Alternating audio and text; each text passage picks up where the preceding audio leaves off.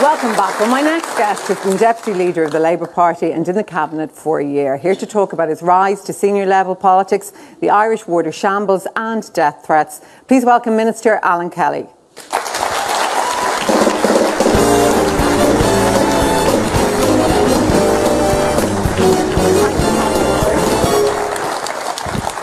Right, we'll get to politics and water charges in a few moments. First, though, I don't know much about your background. Tell me about your background, your parents, where you grew up. Yeah, well, I grew up in the little village of Portroe, um, probably the best little village in Ireland.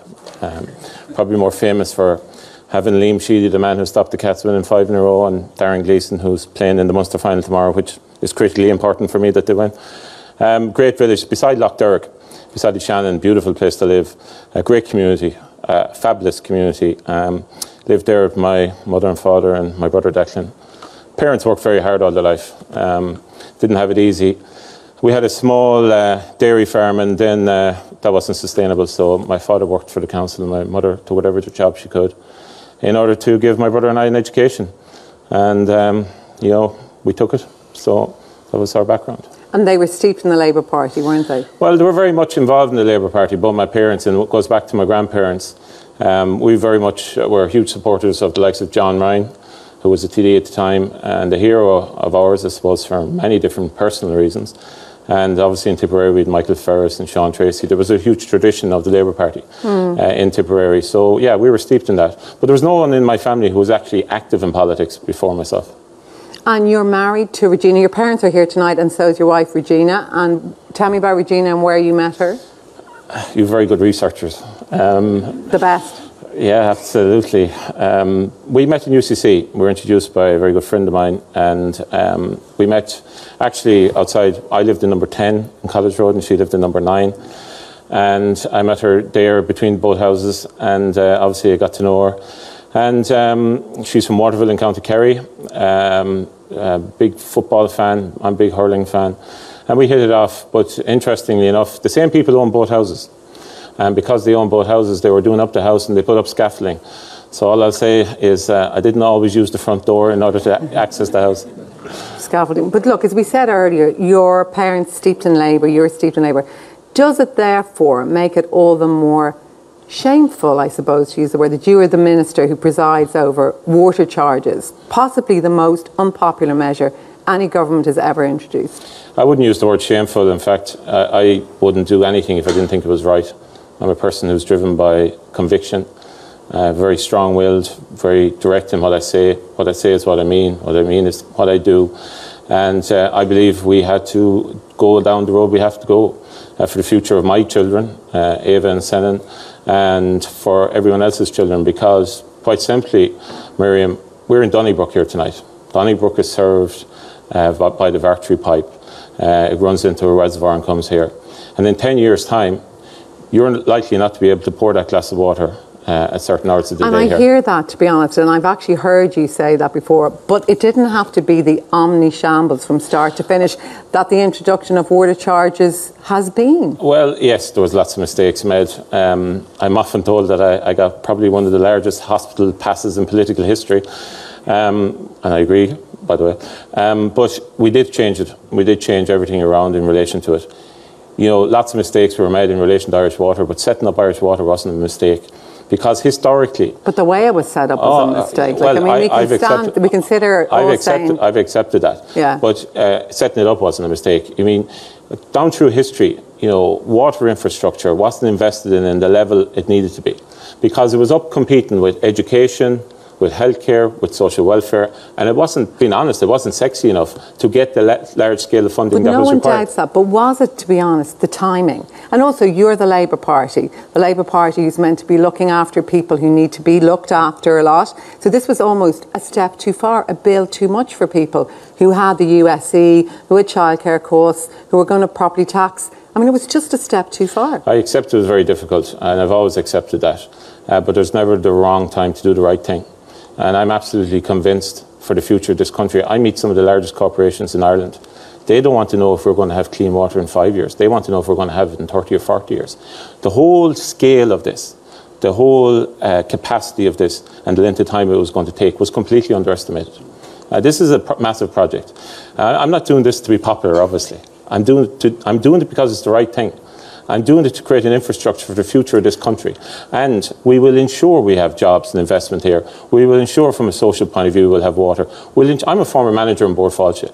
We will ensure our tourism and I hear industry is that, protected. but I think you know even because this isn't prime time. It's, but if you just even look at the human level of people, I met many of those protesters, tens of thousands of them. They weren't your usual tiny group of people who go out and protest and don't want to pay their bills. They were genuine people who went out because they felt so angry about this, and you're going to need them to vote for you next year. Well, uh, you know, I suppose you have to accept that people were very angry, and I, I do accept that. Hmm. But I believe it's changed quite substantially. Um, I believe a lot more people have, you know, come around to the view uh, that this had to be done, and they're coming around to the view for many other reasons. You said, you know, about uh, the Labour Party and having to bring this in. It was also the Labour Party who's contributed to bringing unemployment down to 9.7 percent, has ensured that our economy is the fastest growing economy in Europe. Has This built- is a party political it's not, broadcast. it's not a party political broadcast. But the point being is this, is because we've over 100,000 put more people back to work, and because people's lives are turning, because we're going to have a budget in a few months' time, which is going to give money back to people, you know, the fact that we had this charge is probably more palatable uh, because they can see now the sacrifices that have been made How many people around have the paid their bills so far? I don't know. I've been honest with you. I Have don't you know. asked? Um, Irish Water will, will actually, I think they're going to announce it this week um, in the coming days. Did I tell you before they announced it? No, I haven't. I'll be honest with you. They had to have a board meeting first. That's where the protocol is. And, Have and you then- had a hint or a clue how it's going? Well, I, I would. I would suspect that you know we might be surprised by the volume of people who've paid their bills. On a different note, but it, the same story, and this is a horrible side of the story from your point of view. There have been death threats against your family, haven't there?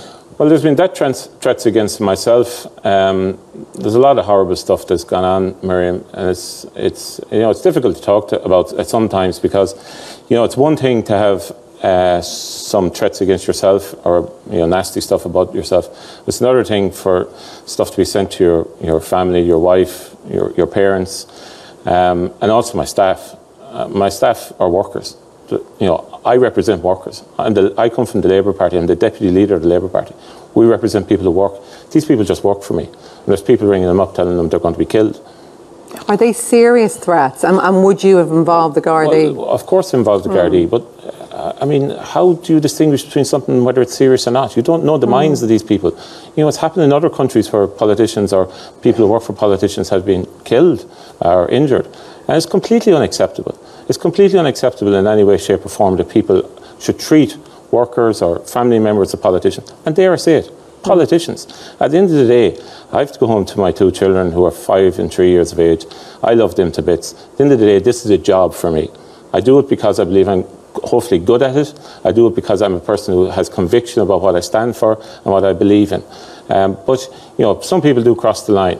What about your parents? Be even, I mean, your parents are older. Have they been affected by this in terms of threats? My parents are here tonight uh, and delighted to see them here. Um, yeah, they have been affected. It hasn't been, hasn't been good for them.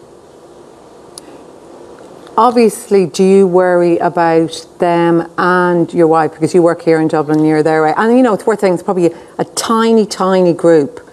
It is. it is extremists, A, it is a it? tiny group, group. But a few weeks ago, the local superintendent had to come up to me uh, and had to find me and tell me to my face that I was under threat from dissident Republicans. And it's not good to have to go home and talk to your family about that. And did you find that very difficult? Yeah, I found it very difficult.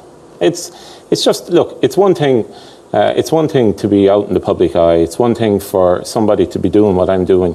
Um, I expect to be challenged by yourself in prime time and everywhere else. I expect uh, people to give out substantially, uh, people to check me, hold me to account in the Dáil, hold me to account on the street, and every way. But there is a small group of people in this country who just want anarchy. And to be honest with you, the threats and everything, it's not just me, by the way. I don't want to take it, make it just an Alan Kelly thing. There's, there's other things, uh, other people as well. Um, you know, I don't really think that their interest is really about water charges. I think it's a broader issue here in society.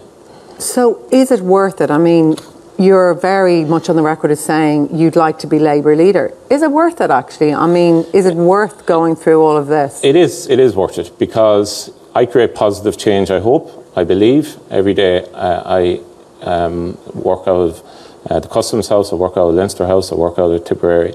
Um, so it is worth it. You get to make positive change. I'm making positive change in relation to, for instance, you know, we've got four billion now to address a big housing issue. And I'll be honest with you, I think the housing issue is probably my biggest priority here, uh, as opposed to water or anything else. Um, so you get to make when you get to make positive change, when you get to uh, deal with people's real issues. Of course, it's worth it. And you know, th- that's why I entered politics. I entered politics. I'm 39 years of age just about still there. Final, very quick question. Why would you want to be leader of the Labour Party when it could be down as low as 6 or 7% from 19% to the next Well, I'm Director of Elections for the Labour Party, Miriam, and we have done a lot of constituency polls, and in every single one of them we're winning a seat.